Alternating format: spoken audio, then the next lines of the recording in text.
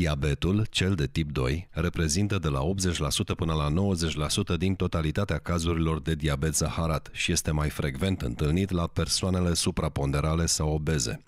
Desigur, medicamentația prescrisă de medicul curant este cea care menține pacientul în bună stare, dar puțină lume știe că există și plante care ajută la menținerea unor niveluri acceptabile ale colesterolului.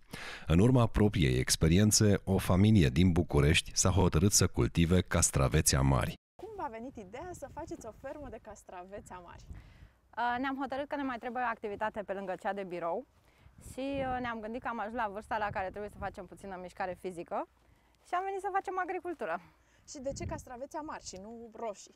Uh, pentru că părinții noștri au început să facă diabet și mama mea și mama soacră și eu am avut pancreatită și am căutat pe net, am tot căutat tot felul de ceaiuri sau remedii din astea mai naturale și întâmplător am dat peste castravetele amar și tot ce am citit despre el m-a încântat extraordinar de mult și am hotărât că este bine să îl aducem să-l cunoască și ceilalți. Poate îi ajută în tratarea diabetului de tip 2. Este Ei, foarte bun. Este o specie deosebită de castraveți. Da, este foarte amar. Este foarte amar. Da. Și știu că provine de undeva din Japonia. Din Japonia, da. Ei au chiar și o zi națională dedicată castravetului amar. Îl au foarte mult inclus în alimentație și uh, este foarte sănătos.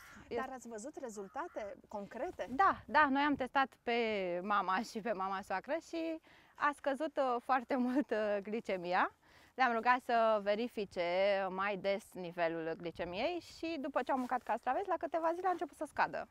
Și acum mănâncă non-stop. Desigur, pe lângă aspectul său neobișnuit și cultivarea relativ ușoară, castravetele amar are și aturi cercetate științific. Din punct de vedere nutrițional, ce au acești castraveți amari astfel încât să fie uh, benefici diabeticilor?